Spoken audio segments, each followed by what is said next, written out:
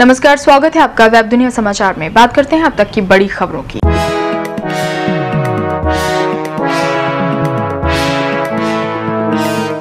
Headley ने बयां की मुंबई हमले की साजिश की पूरी कहानी। पाकिस्तानी अमेरिकी आतंकी डेविड कोलमैन हेडली ने साल 2008 के मुंबई हमले की पूरी साजिश से पर्दा उठाया। उसने अदालत को ये बताया कि किस तरह पाकिस्तान सरजमी पर साजिश रची गई और दो नाकाम कोशिशों के बाद 10 आतंकवादियों ने इस शहर में आतंक का खेल खेला।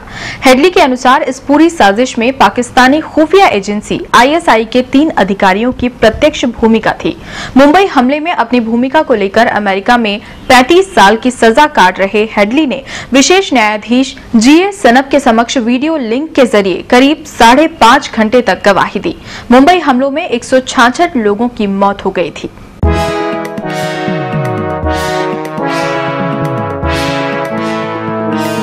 सियाचिन ग्लेशियर के 25 फुट नीचे ज़िंदा मिला सैनिक।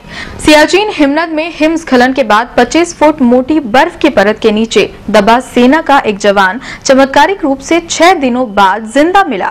उसकी हालत गंभीर है। उत्तरी सैन्य commander lieutenant general D S Hooda ने बताया कि ये एक चमत्कारिक बचाव अभियान था। आज सुबह लॉन्स नायक हनामन थापा को आर अस्पताल ले जाने के लिए सभी प्रयास किए गए। उन्होंने बताया की अब तक पाँच शव बरामद किए जा चुके हैं और चार की पहचान हो चुकी है। दुखद है की अन्य सैनिक हमारे साथ नहीं है।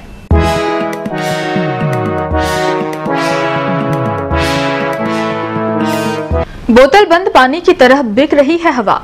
जहाँ अलग अलग नाम से बोतलबंद पानी दुनिया भर में बिक रहा है। वायु प्रदूषण का कहर झेल रहे बीजिंग और चीन के कुछ प्रमुख शहरों में बोतल बंद हवा बेची जा रही है।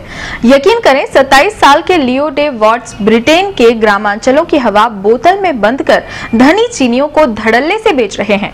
उन्होंने एक बोतल की कीमत तकरीबन सात हज़ार आठ सौ रखी है। और अब तक लाखों रुपए बटोर चुके हैं। डेवॉर्ड्स कहते हैं कि 580 मिलीलीटर के शीशे के जार में हवा बीजिंग और शंघाई जैसे वायु प्रदूषण से जूझ रहे चीनी महानगरों में धड़ल्ले से बिक रही है।